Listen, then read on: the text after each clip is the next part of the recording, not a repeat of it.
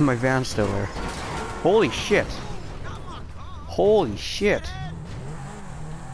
Now let's try and... Oh my fuck.